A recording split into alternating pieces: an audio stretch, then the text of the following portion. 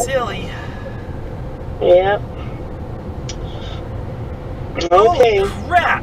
Um, I gotta go. Bye, Mom. All right, bye.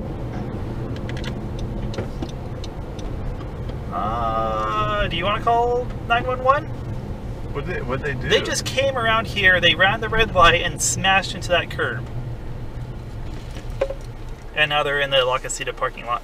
what did they do? They smashed into the sidewalk. Like they uh they couldn't turn. They oh, they're they that's them right there. you want to call it?